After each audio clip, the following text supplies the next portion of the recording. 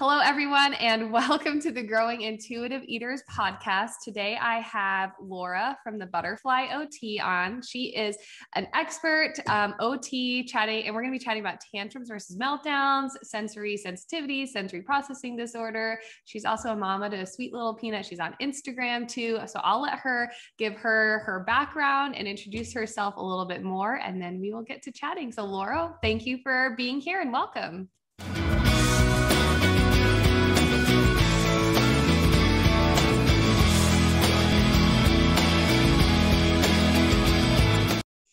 Thanks, Taylor. I was excited to get this invite. I love talking all things sensory processing, and I really love teaching parents about it because it's something that I feel like recently is a buzzword, but parents and teachers and non OTs really don't know the scope of sensory. And when I get to see those light bulbs go off, uh, well, whether I get to see it or hear from it after they watch something or read something, I'm like, yes, I'm so glad that you you got that nugget, that golden nugget. Um, but yeah, it's a little bit about me. My name is Laura. I am in Southern California. I have a daughter who is, she'll be four uh, next month in like a few weeks, actually, the beginning of July. And um, she has sensory processing disorder, and I'll share a little bit about that today. And she has anxiety. So I very much am her own OT, but I always try to struggle between the mom and OT. Mm. I feel like I can't always be 100% in both. And lately, I've been taking off my therapist hat and trying to just be mom with her, which is hard because I can't can't turn it off. But my clinical experience, my professional experience is I've worked in a private-based clinic, a sensory integration clinic, where I work mostly with kids ages three to about 12 on um, on a scope of things. Sensory processing is one of them, but we also work on your typical fine motor, like handwriting skills that you see a lot of OTs work on, but also gross motor, social skills, cognitive skills, whatever is really important to that child and how it impacts their ability to function at home, at school, or in the community. And I help them build those skills or help their parents adapt certain tasks or environments so that the child can be more independent. That's so interesting. I feel like not a lot of people know that OTs do all of those things.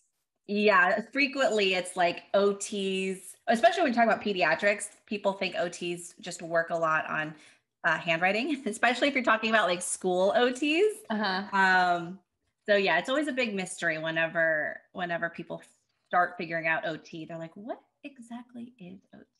yeah. So, did you have all this interest in sensory processing disorder, sensory sensitivity before you had your daughter?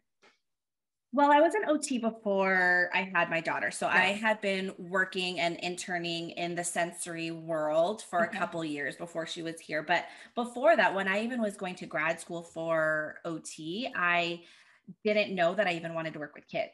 Oh. I wasn't I wasn't sold. I wasn't sure. I was still exploring. So when you go to grad school for OT, you basically get like a general education. And um, if anybody's out there listening to this and you don't know that OTs can work with uh, people across the lifespan. So there's OTs in the NICU for like brand new itty bitty babies.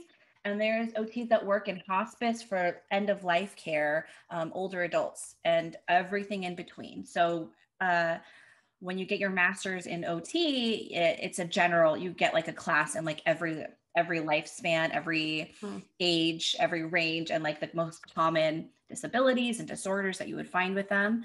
Um, you can get like certifications after on a special niche, but um, I didn't know, I didn't always know I wanted to work with kids in general. And it's just recently that I've been hyper focused on sensory because it's just so relevant to my daily life. I can't stop thinking about it. So I like spew it on social media and people like it. So yeah. so well, I just keep sharing. That's how I found you on social media because I my daughter doesn't hasn't been diagnosed with sensory processing disorder and you can share a little bit more about how it's not like an official DSM diagnosis but she has sensory sensitivities. She's like a seeker mm-hmm. in some areas and an avoider in some areas and we worked with an OT but man, we struggled with her behavior for a while before I finally reached out for help. And do you feel like that's something that is common in this world of sensory needs where like you know people just told me oh she's just a, a like terrible twos and it's it, nor, meltdowns are normal and tantrums happen with kids and you're just you know being sensitive to it. Do you hear that story a lot? I do, and I I and I saw it myself as a first time parent and again my expertise was in like the 3 and older. So that like 1 to 3 toddler age when you hear about the terrible twos and you see them happening and it's your first child, I was like, "Oh, is this what they're talking about?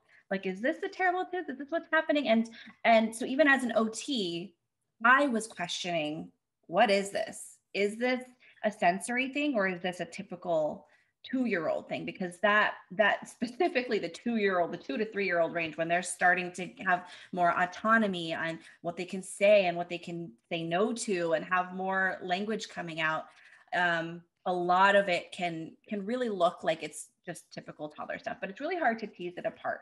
Um, when i find it becoming clearer to parents when they start seeking help usually around the three to four age is when they're in preschool, they're playing with more friends, their um, their meltdowns are lasting longer. Um, their notice parents are, are able to see it in comparison to other peers a little bit more, whether that's in play dates or at school, and you're getting feedback from teachers.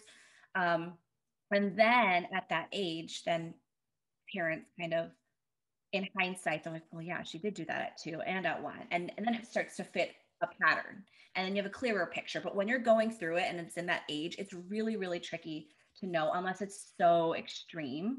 Um, but if you're in the field and you kind of know what sensory is, you're already starting to have that like back and forth conversation in your head. Whereas a parent who doesn't even know what sensory is would definitely just think it's their child having typical tantrums, which are normal, but certain meltdowns and certain behaviors are definitely more in the like uh, needs more support side of you know the spectrum of behaviors.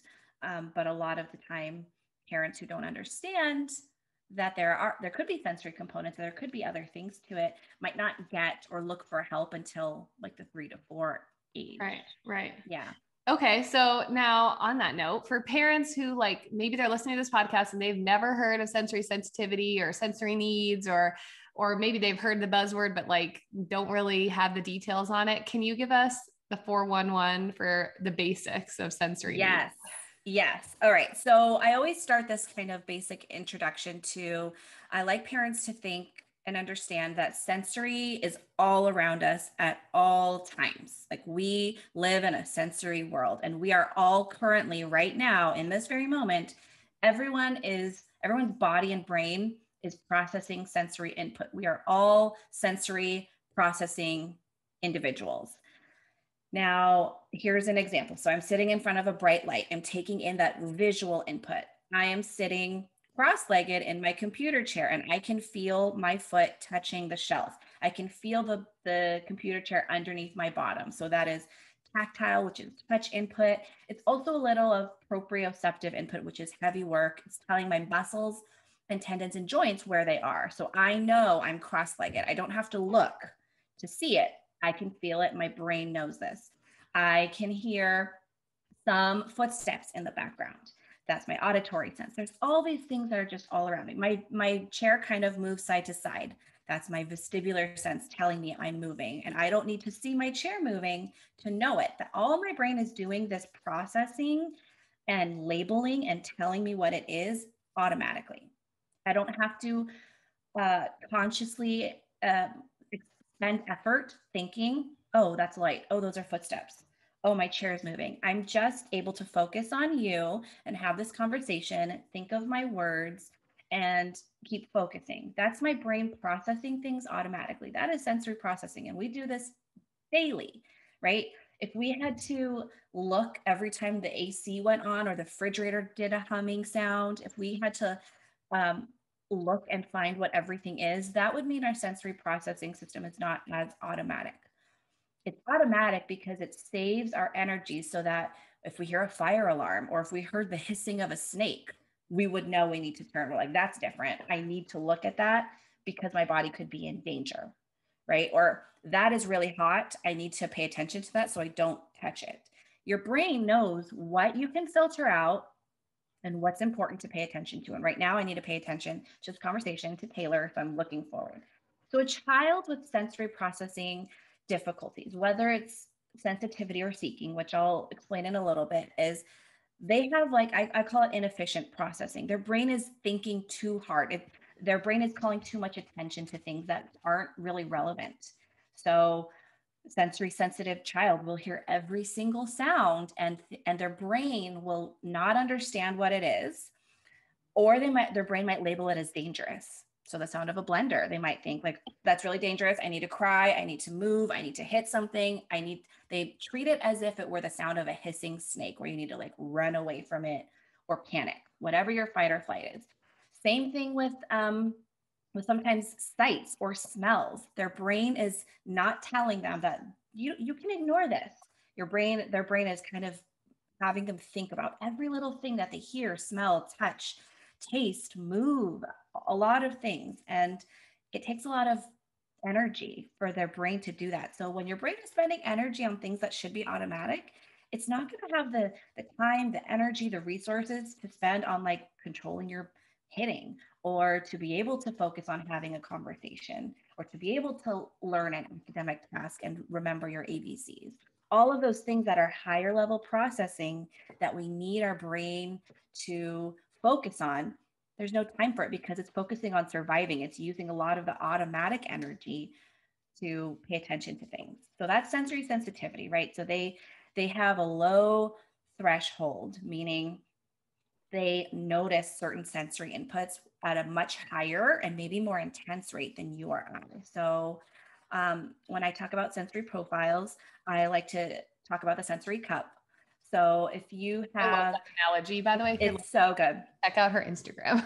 yeah, I have a few reels that that demonstrate this really well. So uh, if you have a small sensory cup, think about your sensory cup as like your nervous system, your brain. Um, and it's like how much you can tolerate, right? And then every sensory input that you get throughout your day is a drop in the sensory cup. So most of us neurotypical adults who don't have sensory processing issues have an average sized cup. We can see bright lights, we could see the sun, we could hear the blender in the morning, we could hear uh, someone sneeze, we can um, tolerate a car ride, we can tolerate spinning in a computer chair. A child who's sensory sensitive might have a small sensory cup. And I even say my daughter has like a thimble, like she gets so overstimulated very easily. So, like if you think about your morning routine, like opening the blinds brings in bright light, and then washing their face, that water on their skin, those are all drops in their cup. And when the cup is overflowing, that's when you see big behaviors, big meltdowns. Um, big reactions that to us make no that might make not make sense or feel like it's out of nowhere like when you come home from school and you give them a snack and they complain it's on the blue plate instead of the green plate. Well it's not about the plate. It's about their cup is overflowing from school because they've tolerated a lot. Like the school is full of sensory input. It's a lot to be bombarded with all at once and then you pick them up and they melt down right? Um, so on the other side the the high threshold kids have like a very large sensory cup. So they don't register the sensory input at the same frequency that we do and definitely not the same as a kid with a small sensory cup so just as i said an overflowing cup is a dysregulated child an empty cup is also dysregulated. You kind of want it like somewhere in the middle. So a sensory seeker is a child who has a high threshold, a big, big, big sensory cup, and you just cannot get it full. Sometimes we say there's a hole in it. Like the more you fill it, it just keeps going. And you're like, how is this kid spinning and spinning and spinning? Or like, how can they like um be screaming at the top of their lungs and like they can't understand that their volume is too loud like they just aren't registering it. And um, so it's the same thing. Their brain might not hear certain sounds so they're not perceiving danger. Like maybe they might not notice if you're calling them like hey run there's a bear. Like they might not hear that right? In the everyday world in the classroom might be them missing their name or saying don't touch that and they can't hear it, they can't process it, that maybe there's a delay. There's a lot of different profiles that you can have, but it all comes back to how they are taking in all of the senses in the environment and what their brain does with it. Sometimes they over respond which is a small sensory cup. So sensitive kids, sometimes they under respond, um, which is the big cup. And then sometimes they like seek it out. Like you cannot stop these kids from touching something if they want to get the feel of it. Like there are kids who roll in the sand. There are kids who will like paint their body with like shaving cream or anything messy because they love that feeling. So it can look very different in each child. And then the last thing I'll say is the, the question that I always get as a follow up is Can my child have both size cups? Yes, um, we typically call that a mixed threshold. So you can be mixed threshold in the same sensory domain. So you can have a small sensory cup for like messy play, like shaving cream and paint and slime and Play Doh. But you might have a big sensory cup and can't get enough of like um, cuddles and like big hugs, which is some, which is a different kind of touch, but they're both touch, right? You can also have mixed thresholds across domains. So you can have a large sensory cup for movement and love spinning and hanging upside down and twirling and going fast, um, but have a small sensory cup for sound or for touch. So, so many different profiles you can like mix and match. Um, I promise you, I've probably seen it all, but there's like literally, if you calculated, like, do you remember like there's like a math formula where you put like the ex exponential, like you see how many how many different combinations you could have of something. There's like six, I think, different sensory profiles, three different sensory profiles, but like across six domains. If you like put that in the calculator, it's like millions of different combinations you can have. So it's not always just sensitive to sound and then you're sensitive to everything. It can like, it can look so different. Right, right. So for example, my daughter is sensitive to sound. She's an avoider for sound. She's an avoider for textures, but she's a seeker for um, like vestibular input and movement. Like she could jump onto the nugget and crash into her pillows and spin on her swing like all day long, but she will flail her hands around like nobody's business if she touches rice, if her shirt gets wet, if she's really upset about it. So, yeah, it's really interesting how you can have that mixed threshold. Did she have a lot of um, ear infections when she was little? Yes, yes. So my daughter had, so she was born with a laryngeal cleft, which caused her to have aspiration, which we actually didn't get diagnosed till 15 months. I'm gonna do a whole episode on this, but she had frequent upper respiratory infections. Like we would have a respiratory infection and then we'd have three healthy days and then we would have a respiratory infection for like six months in a row. Like she was constantly sick.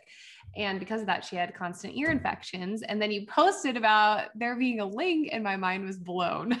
Yeah. Yeah. So the vestibular input is so vestibular is one of the senses that you don't really hear about. We always think about like the five, right? Like sight, sound, smell, taste, and touch. But there's three extra ones, and vestibular is one of the other ones that, unless you're like in the field, you don't really walk around like knowing like the pediatrician doesn't ask like hey how's your vestibular sense right. but it's like a um the receptors for the vestibular sense is in your inner ear and this is what tells your brain like where your head is in space specifically your head because it's in your inner ear so this is like when you're on an airplane and the shutters are down and you know that you're tilting to the right even without seeing the horizon. Like you have no point of reference. You're in this tube right? Right. But you can your vestibular sense is activated and telling you that you're tilting to the side. It tells you when your head is upside down. It tells you when your head is spinning. It tells you how fast you're going how slow you're going. Um, and because it's in your inner ear it's very linked to your auditory sense. So a lot of kids with chronic ear infection have um, some sensory challenges with both auditory and vestibular. And sometimes it's sensitive to auditory and seeking movement. Sometimes it's seeking auditory and sensitive to movement. It can look different in every kid, but the idea is that your inner ear and the uh, the um, the way that they're the the hair follicles and the receptors are they've been impacted on a physical level from the liquid in the ear sometimes if you have glue ear and it's like really it really forms the the vestibular receptors at like in a different way and so they're processing vestibular input in a very different way um, but it's impacted because so interesting. ear infection. Is there yeah. any research on that? Is that more like anecdotal that a lot of clinicians are seeing? Well, there's definitely there's definitely research. Um, I don't have any off the top of my head because we do know, like, if you just see the anatomy of the ear and how when the liquid moves as you're as you're tilting, and you see how it activates and goes into all the different canals, um, and then you see what it looks like in a child who has an ear infection, and then you mm-hmm. can see how that like um, prohibits the way that liquid moves and mm-hmm. and all the different ways that it can look. Um, those are like the harder research articles to read because they're very they're very like anatomical and even the words, but um, there's definitely documented cool. um, ear infections and um, an increase in vestibular challenges. And a lot of kids who get ear tubes put in. Yep, my daughter has. yeah, she's on her second set. A lot of them, after they fall out, parents notice like some sort of decrease in like if they had vestibular challenges before, like they start to see it improve um, a lot of times. That was one of the research articles I read. If I try, if I find it, I'll try to.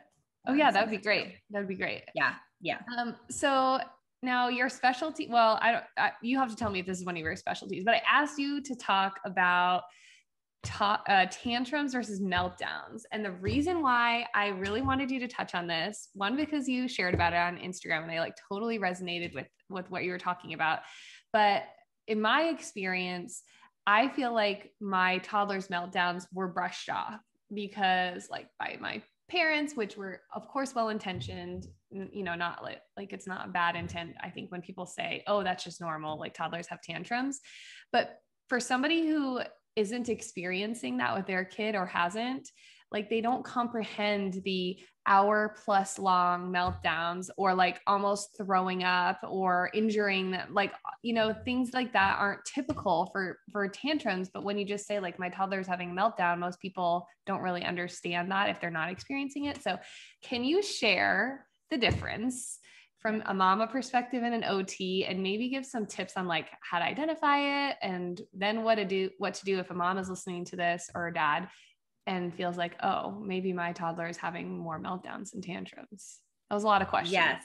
Oh no, like I will I will cover all of it in my my spiel because okay. I love talking about this. This is something I'm very passionate about because as you said there I there's still not a lot of depends on the on the professional you ask. Um, some professionals don't see the need to differentiate between the two. A lot of like the uh, the OTs, behaviorists, um, teachers that I've spoken to, they do inherently believe there's a difference. Some psychologists, some, um, yeah, most of the psychologists that I've spoken to are like 50 50 on differentiating it. But I find that it's really important because when you understand and you are identifying your child as having a true meltdown which i'll go into detail but when you when you realize that that's more of a cause to seek professional support versus like this is typical uh, tantrums because the tantrums are a healthy part of development especially in the 1 to 3 range. Every child should i think there was a research study that said like 79% something in the 70s of parents um, reported having tantrums, and I think that's really low. I, I like I would love to see a parent who's say, saying that they're not witnessing. Yeah, twenty percent. What? I'm like, how is there? How, how, like I would say that that's almost like not healthy because it is a healthy part of development and part of the developmental stages of a child to be able to outwardly express their anger, their frustration, their wanting of something when they don't have the language yet, which is usually in the one to three range, and they're crying about it and they want it and they're stomping their feet um, and yes, there's a range of intensities for tantrums, but um, but it's healthy and it's normal. And I think I think a lot of the culture these days as parents, as we're shifting more to like the gentle parenting, mm-hmm. the conscious parenting, I've heard from a lot of parents who just say, well, I always call it a meltdown because I feel like tantrum is negative or it's saying my kid's a brat. Like they don't like the the phrase mm-hmm. temper tantrum. They think it's like invalidating their child's feelings. They they just have a negative connotation. So they're like, I just call it all meltdowns because I feel like calling it a tantrum is is harsh. And I, I see what they mean by it. Um, but the problem is, again, if you are not differentiating between a tantrum and a meltdown, then like my example is always I would share my daughter like, oh, she had another meltdown this morning because of um because she didn't want to wear like these shoes.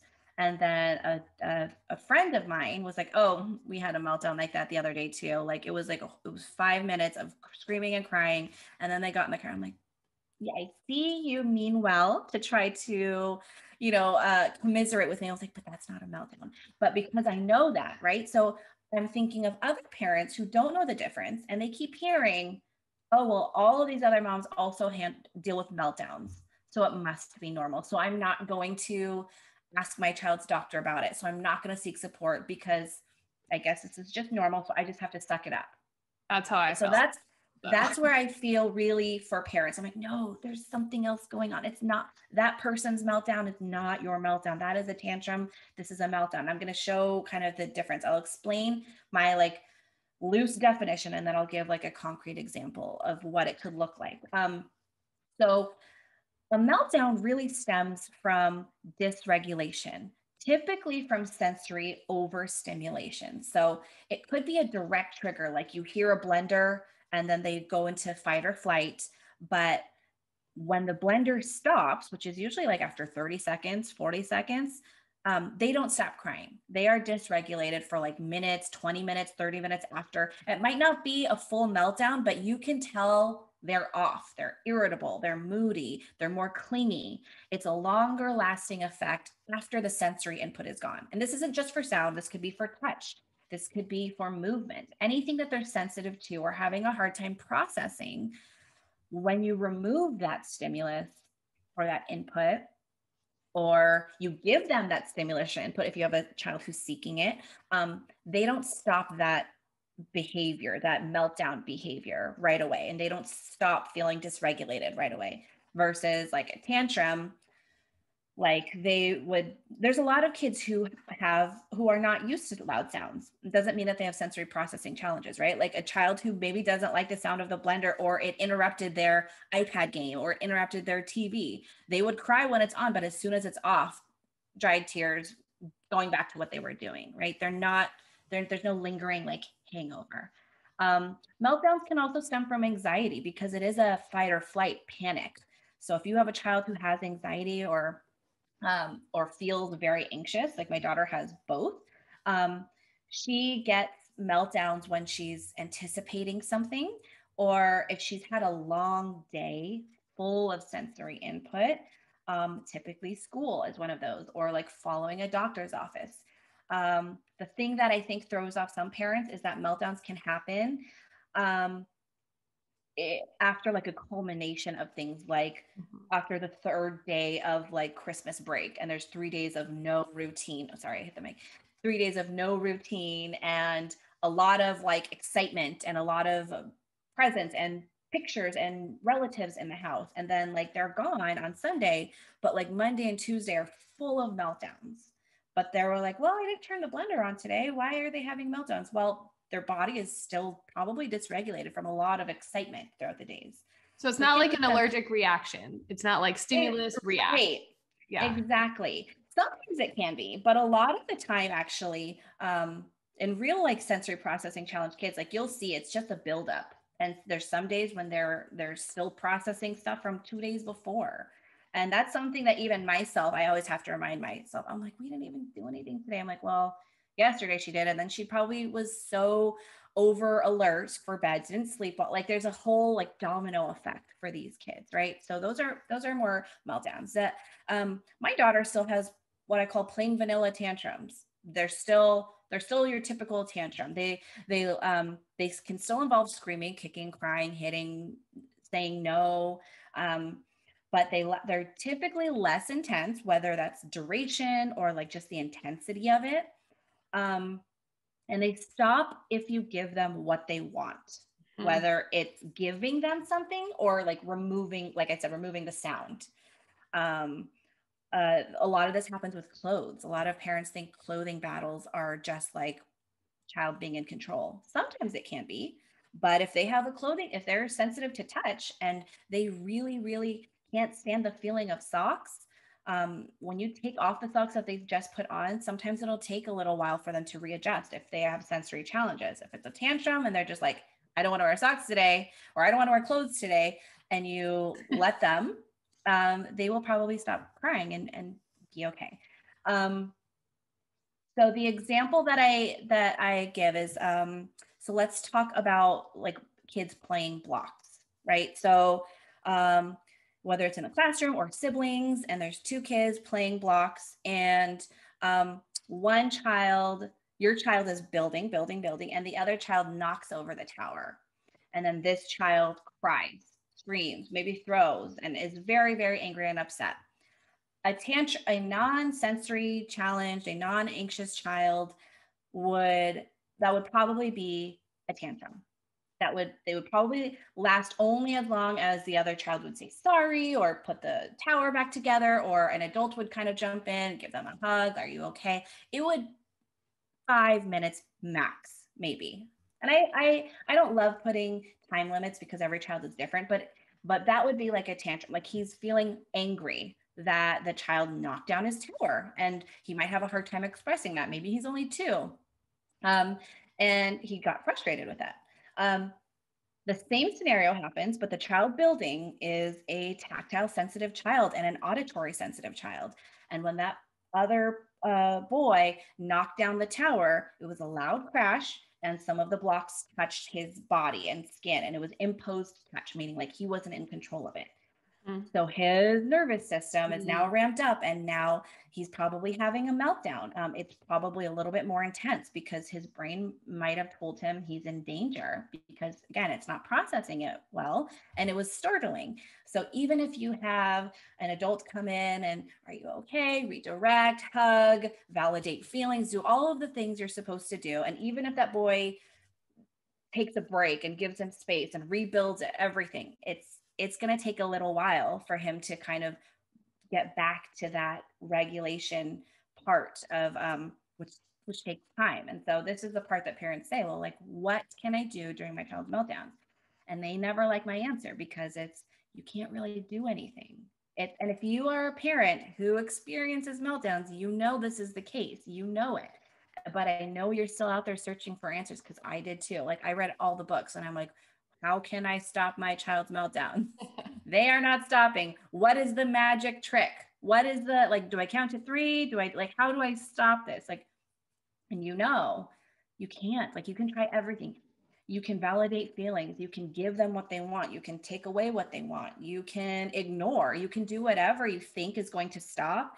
It's not really going to stop because the only thing that will stop their brain from the dysregulation is to help them get back to regulation. So the best thing you can do is to provide a safe environment that they can do that. And when I say safe, it means allowing them to express that dysregulation in a safe way. So if they're throwing stuff, give them soft things to throw or remove breakable things.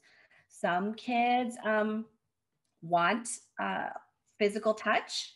Um, and that can be hard as a parent mm. because like I don't like being around my daughter. Like I have my own sensory sensitivities. I uh, recommend every parent invest in a good pair of um, noise reducing headphones or earplugs. I like there's like a brand called Vibes and there's a brand called Loops, but they're just little inserts that are very discreet. But I honestly carry them like in my pocket all day because it helps me help her through the meltdowns more. So you kind of have to sit through them with that meltdown.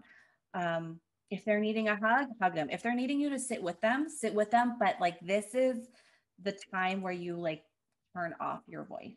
Like not even I can't. I'll say like, I love you. I know it's hard. I'm here, and I'll just sit there and like mm-hmm. maybe after like ten minutes I'll like repeat it again. But sometimes I'll just let her have her thing, and then at a more neutral time we'll talk about it, and I'll let her know oh, you had a really long day from school. And when you got home, you really wished that I had given you that snack, but I planned a different snack.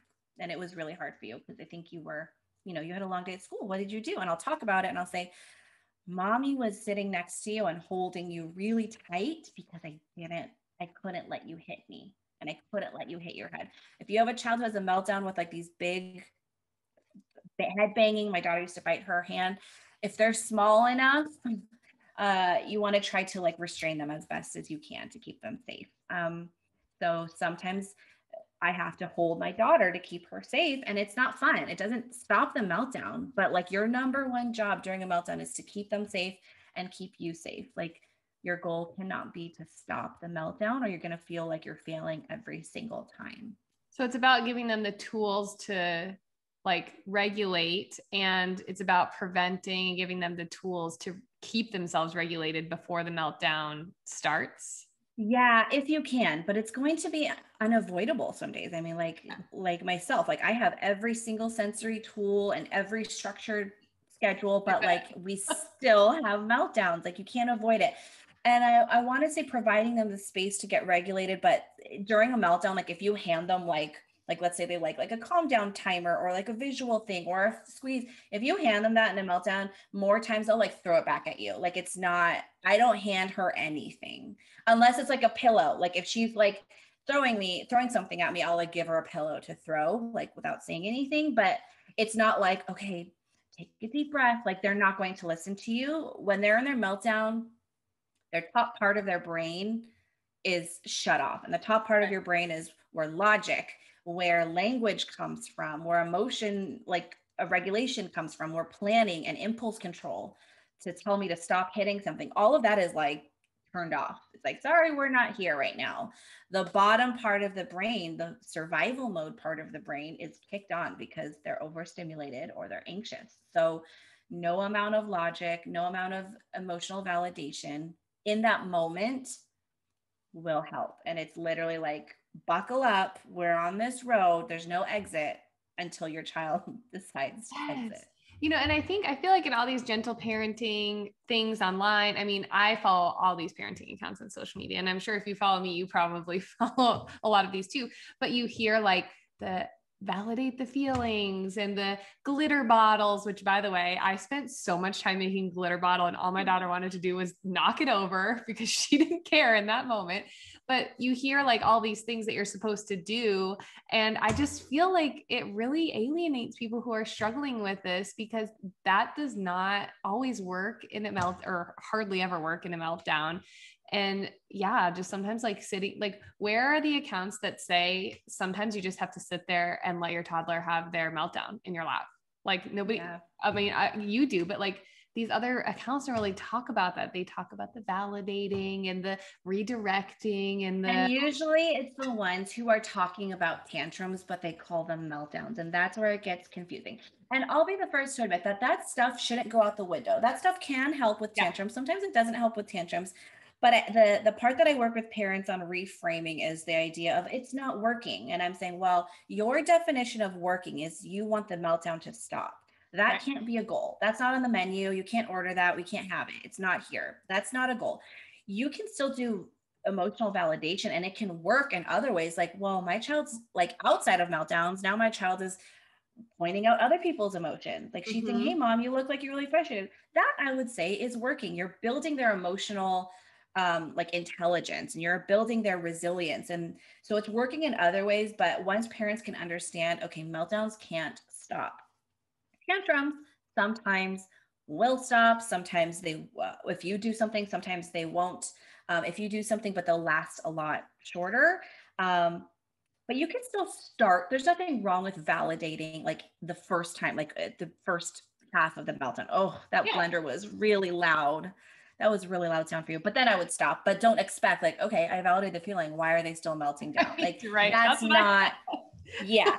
I think and that's how I was telling like, well, it's not working. But I think where the gap is is one, those accounts are not always talking about meltdowns, but two, those accounts are not really going further to say, this is what you do in a tantrum or meltdown, but this is not going to stop it. But this is how you should handle it. Like if you are a parent who's wanting to build emotional intelligence, and social emotional skills. This is how you handle it, as opposed to stop crying, don't do that, stop this, stop that. If you have to say something, validate the feelings, but it's not going to stop the meltdown. And I think that like extended like little phrase, little disclaimer needs to be on more Instagram posts. Yeah. Um, but I think I think the the like I would be just happier if a lot of accounts would be more this is a tantrum, this is a meltdown. And where it really comes into play, like I said at the beginning, kind of was like, okay, well, a two year old having tantrums every day, normal. A two year old having meltdowns every single day, it's I would say I w- I don't want to say not normal. I would say I would I would need support at that point as a parent, whether or not you're saying this is this diagnosis or not. I would say go ask for support because that seems a little bit outside of the norm. If they are meltdowns, if they Let's are meltdowns, this support because I got the support. My daughter was two, and I sought the support of an OT because, yeah, she was having these meltdowns like daily. And then I asked yes. my friend about her kids' meltdowns, and she said they were like 10 minutes a day, like three times a week. And I was like, okay, I clearly yeah, yes, like talk to somebody. About like, well, that is not a meltdown. And there's nothing. And then I feel like that's that narrative can sometimes be spun into like, well, I'm having a harder time than you. You no, have such an easy mom life. It's not like no. it's not pooping on anyone's like hard days. It's just no, like totally. that is not a tantrum, but like I get why you wouldn't need to seek support for that. Yeah. That is normal. That is that will phase out. Meltdowns daily, like I, like you said, yours are over an hour. Mine at her worst when she was two, we were having three of them a day, like 90 minutes long. She was like biting her hand like I had to cancel work. Like it was very impactful to our day. It was not by any means like normal. And I knew I needed the support. And so I want, I don't want parents to just like, in your like mom groups, hearing everyone talk about like their meltdowns, but like then you not really dig deeper and saying, well, what does your meltdown look like versus mine? And should I be quiet? Should I stop complaining because everyone is having meltdowns? Right. Um, and it's not about a comparison like like you said, a mom comparison. It's just more of like a tool to help you see, like, yes, maybe I need to, you know, get some help. First like filter that first screen. Right. like, well, does it, do I need help or not? Like, right. yeah. So I, and again, I, I don't like to give out too many time limits because some tantrums can last long, be, depending on how you've been responding to them. They might, that's when they can like, uh, just, they can be more putting on a show i would say if they know mm-hmm. that that that they will get you to give them what they need for those tantrums so some of the tantrums can last long but meltdowns like if they're happening like often to the point where it's impact like you can't go places like you're like canceling plans canceling work leaving play dates early not going to play dates um, your child can't like sit through um, you know a meal without having a meltdown and they're mm-hmm. lasting like really long or there's self injury. My daughter used to bite her hand, hit her head, like, um, and it was just so impactful that I'm like, I, I just need help. I need, I need support. And even I took that to my pediatrician. It took me three visits to my own pediatrician, who I loved and trusted her with everything. But it took me three times to go back and say, no, I need support.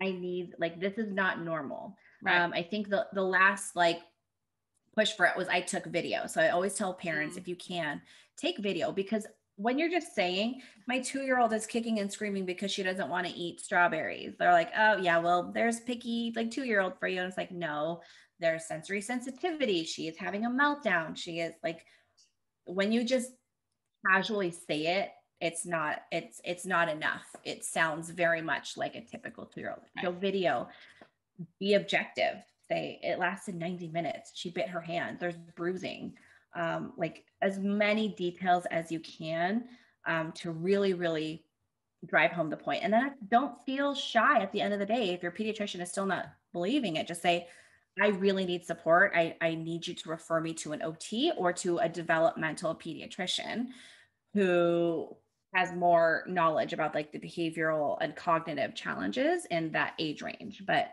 don't be shy to like really push for it because at the end of the day, there's not eh, like I, I, feel like some pediatricians, I'm like, do you have like a limited amount of how many golden ticket referrals you can give to OTs? Like, why are you not just, if a parent is saying it, what is the harm in saying, okay, I'll write you a referral to go get an evaluation?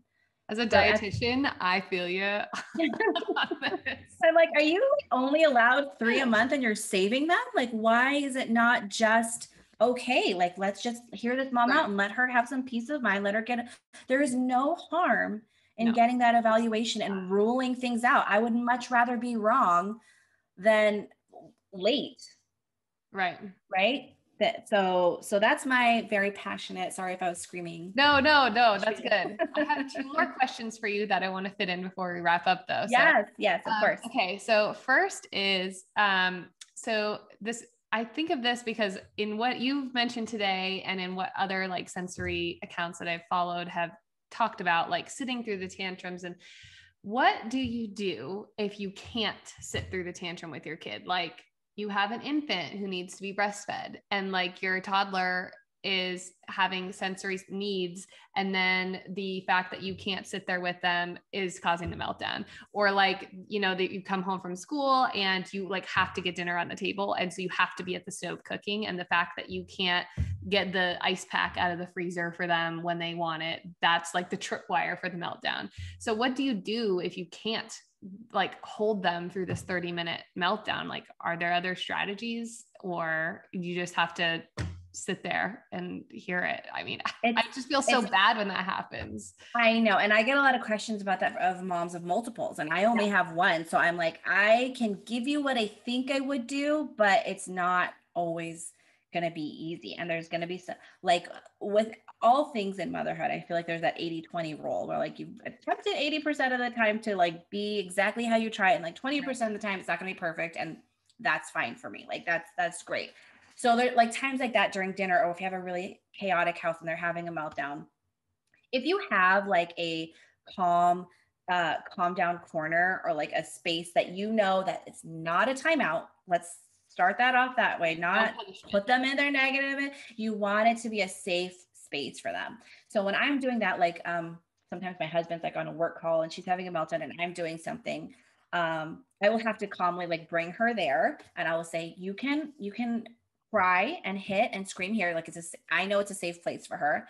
Um or you can sit with mommy in the kitchen but there's no well we can't scream in the kitchen. If you need to scream you can go back there. But sometimes again um, you have to catch them before their full meltdown mm. to be able to give those boundaries.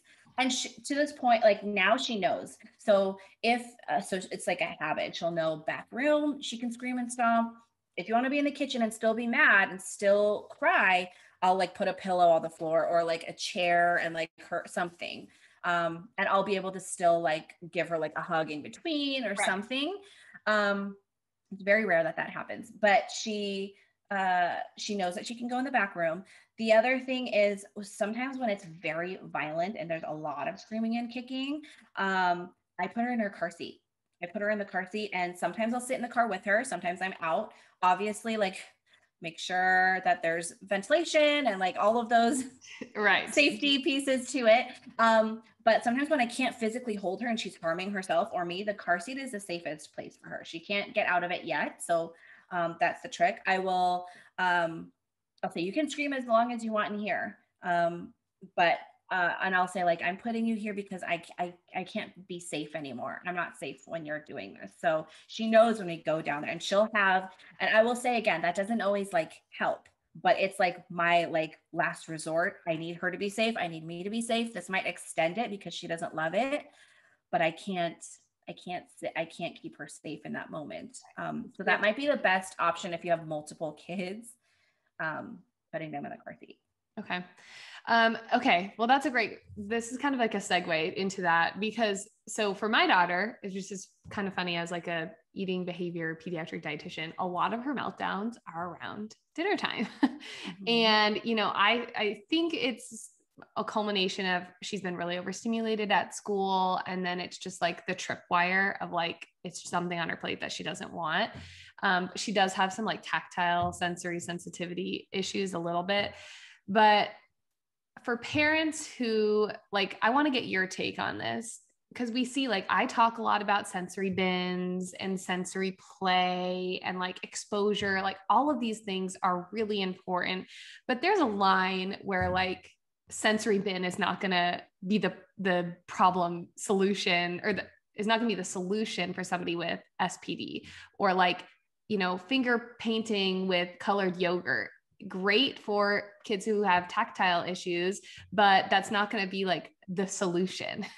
and so, how do you as an ot who like actively treats these kiddos where do you see the line between yes like at home working on these sensory bins and exposure activities is really important and it's a really a key component for all kids who are learning to like new vegetables and fruits but like how would you identify that kid who needs to go into feeding therapy with an ot yeah so so there's like a number that if you list down all of their foods just in terms of like is my child just a picky eater or are they a problem field feeder? Do they need therapy? Right. just by right. listing their foods right? It's right.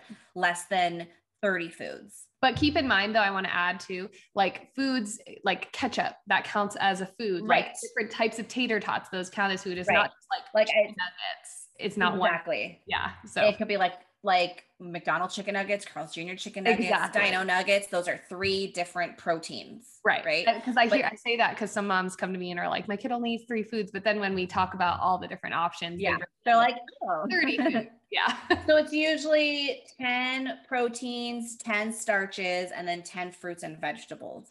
Um, and again, like a like you could have 10 brands of chicken nuggets and that would count as 10 proteins because the idea is that you don't repeat a certain food too often that they food jag or get sick of it and then they like remove that from their list, right? But the thing to know, so if you already are listing down your foods, dips, drinks, everything and how they fit within protein, starches, vegetables, and fruits, and it's still under 30, um, I would seek an evaluation. The um, the thing that that is not really always understood about feeding is that it's not just about the taste and smell and like smell the vestibular sense is actually really involved in eating and so is so is uh, proprioception and and how your posture is. Um, and the other and so so if any one of those parts of your sensory system is inefficient um, that could lead to that could just be an extra layer that you can't you can't really um, an untrained eye if you're not an ot or in the field would not be able to notice that. Um, and those are things that would definitely be need needing to be assessed and addressed in the clinic.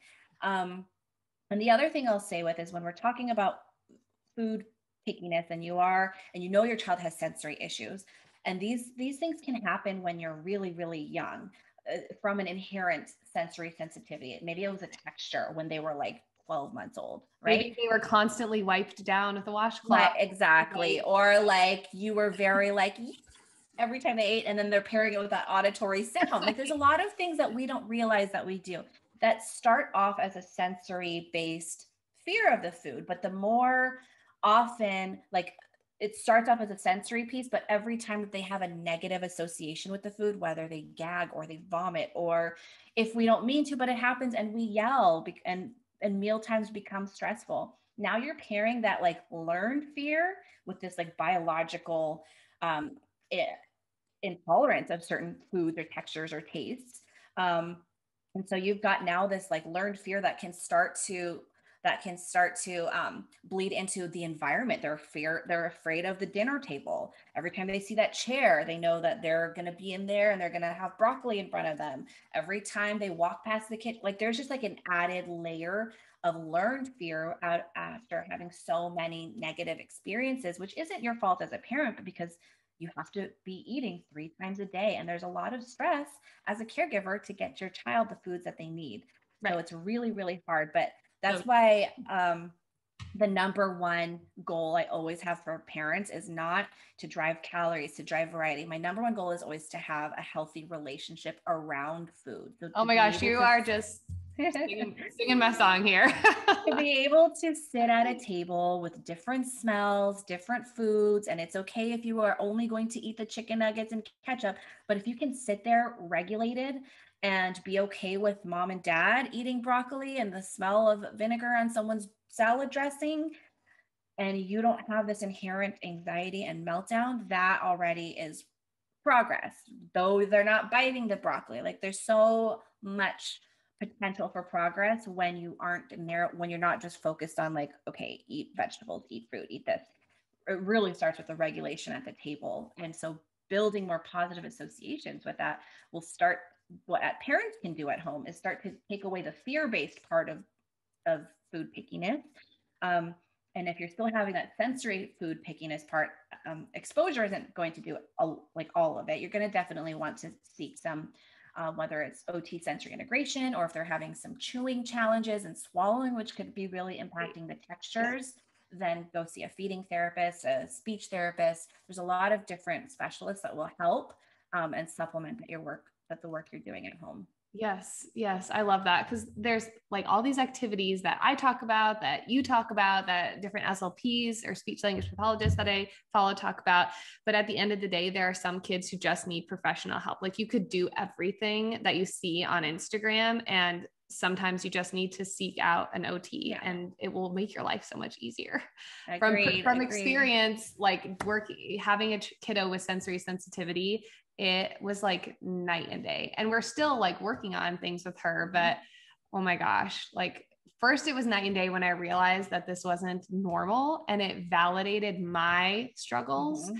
And mm-hmm. then it was night and day when we started working with our OT just to see her behavior changes. And we're not like we aren't aren't still having frequent appointments, but I feel like we have been equipped with the tools from working with her to now I can handle the meltdowns and give her the coping tools and teach her these regulation tools and it's just made a world of difference. So i yeah. love ot profession. Thank you for what you do. Of course of course. I love ots to have a little biased but okay so you have some resources for parents who like if they're wondering maybe my kid is struggling with this or they know their kid is struggling with this. So can you tell us what you offer for parents yeah, so I have a parent membership. So if you are a parent who has a child with sensory sensitivities, whether it's picky eating, if they have a hard time wearing different clothes, playing with messy textures, loud sounds, or busy environments, or even um, cutting your nails, brushing your hair, washing, if they have a small sensory cup, then I have a parent membership and program where I teach you ways to supplement and to um, help at home to start supporting them at home using what I call a Just Right Challenge, where you can start building these very small baby step exposures so that they can be successful daily and start building more positive associations with those things. Um, that's called Sensory Wise Solutions. And if you want to get on the waitlist for that, you can at the otbutterfly.com slash waitlist. But if you want to start support today, I have a free masterclass that kind of gives you a little introduction to the Just Right Challenge and how you can start uh, start looking at that and start building your own goal and your own ladder, which is what I call it, of little baby steps to whatever goal that you might have in mind. And that's free. And you can go to the otbutterfly.com slash masterclass and get your free ticket there and start watching that today. Cool. Awesome. And you're on Instagram. Can you tell us your handle again? Yes, I am on Instagram. I'm at the OT Butterfly. You can DM me. I do question boxes once a week. If you ever have questions there, or always um, any comments on my posts, I will try to get to and and answer them there. Okay, and is that the best place for someone to contact you if they wanted to reach out? Yeah, yeah. I have an email. You can reach me at Laura Petix at the otbutterfly.com, but Instagram is really where I'm like hanging out way too much but i will I, i'm i'm on there daily okay well this was so fun i told you that i was going to try to keep it shorter than an hour and that did not happen because this was so interesting like i just could talk about this all day long too from a professional yeah. perspective working with picky eating but also as yeah. a mom like a mom. i just want other moms to know all about what you teach so they don't have to feel like they're going crazy or a, they're a mm-hmm. bad mom because they can't handle these meltdowns. I know. And I really, really love spreading that message because that's really the goal. Because when I hear moms like, oh my God, I didn't realize that this, oh, someone could help with this. Like I thought I mm-hmm. was supposed to just like handle this. And I'm like, no, you can get help. So right. thank you for inviting me on here to be able to speak on your platform and just talk about the things that I love yeah. Well, and like I could talk about this at length. Like, well, it's been a pleasure. Thanks, Laura. Yeah. Thank you for having me, Taylor. I'll see you guys around. All right.